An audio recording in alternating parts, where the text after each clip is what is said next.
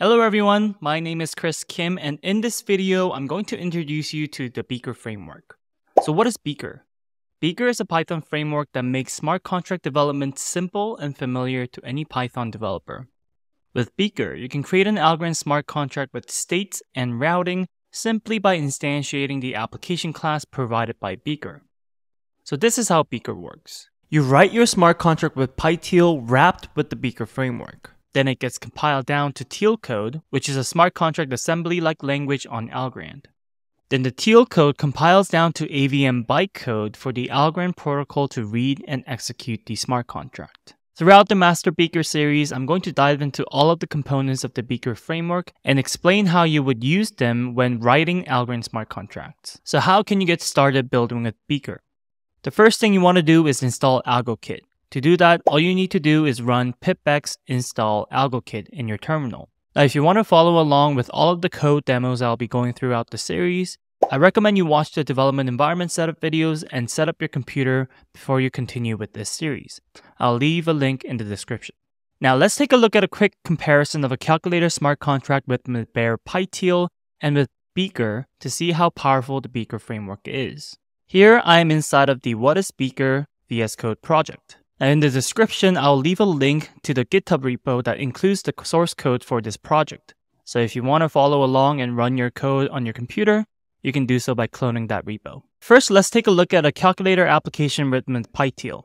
So I'm going to open up PyTeal Calc, and I'm going to open up PT contract. And this contract right here is the calculator smart contract written with bare PyTeal. So if you take a quick look at what this is, here in line 4, we're checking if transaction.sender, the account that send the transaction is same as the creator of the application. And we're assigning this expression into the isCreator variable. Then in line 7, we have a router class defined. Now, if you don't know what a router is, check out the master PyTeal series that is showing up in the top right right now. Now this router has a name PyTeal calculator, and inside the bare call actions is defining what's happening for different types of onComplete application calls. And we're setting that to the router variable. Now coming down here, this calculator has one method called the add method. So this is a calculator that can only add. Uh, so it takes in two arguments, A and B, which are both uint64 type, and it outputs a uint64 type. And here is returning an output that is set to A.get plus B.get. PyTeal is a high level language, so this code you see right here is easy enough to understand. But for someone who's just coming into Algorand development and see this code, they will need to learn what a router is, what bare call actions is, and they'll have to define all these onComplete actions manually. Now let's look at the SDK code that will create and deploy this smart contract. Now coming down here, we have some code that is going to compile the application and dump out three artifacts into the artifacts folder. So it's going to dump out approval.teal and clear.teal, which are both teal source code, the low level assembly language, and contract.json, which is the ABI specification for the smart contract. Now going back to the Explorer, let's take a look at this deploy file. Now here we're importing in a bunch of stuff from the Algorand SDK. And here in line 9, we're importing in the getAccounts function from the sandbox file. So let's quickly check out the sandbox file here. Now this sandbox.py file is defining this getAccounts function and it's going to connect to the local network that is running on your computer and collect all the accounts that are on that local network environment. Now, all the code you see on this file is code that you have to write manually. Coming back to the deploy file, first we have to manually define the create app function. This is going to take in a bunch of arguments and create the calculator application for you. So down here is going to create an application create transaction with all of the arguments that you passed in. You have to sign it manually and then you have to send the transaction and you have to wait for confirmation. So basically, you're forming the create transaction and sending it to the network. And then we also have to define another helper function called compile program, which is going to take in the source code and compile the code for you so that you can use it later on. And down here, we have to set up the Algod client, which is going to let you connect to the local network running on your computer. And then I'm using the get accounts function I manually defined in the sandbox.py file to get an account.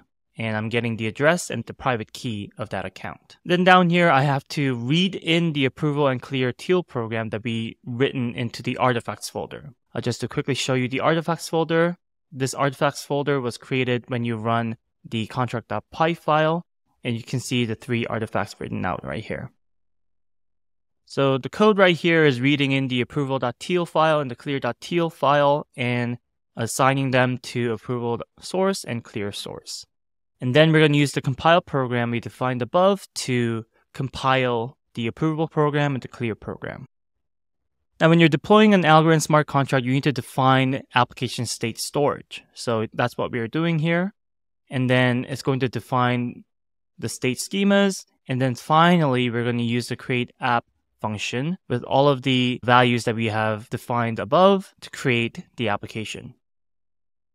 Now let's try calling the add method. To do that, we need to read in the contract.json ABI file from the artifacts folder.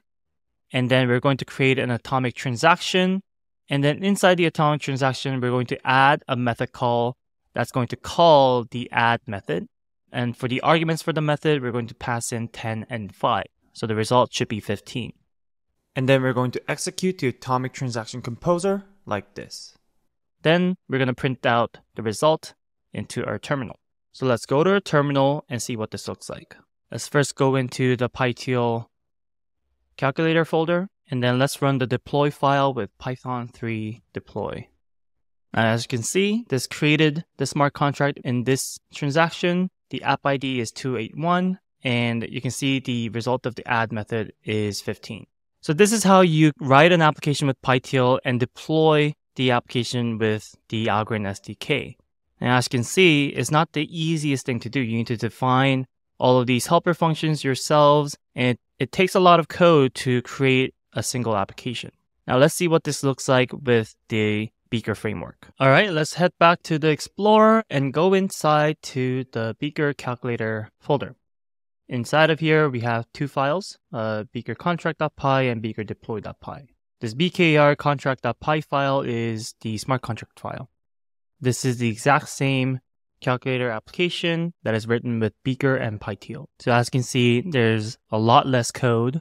We don't need to manually define a router. Beaker is handling all of the routing for you. Here in line 4, we are using the application class provided by Beaker to create a smart contract. So by instantiating this application class and providing the name Beaker Calculator and assigning to the app variable, we just created our smart contract just like that with one line of code.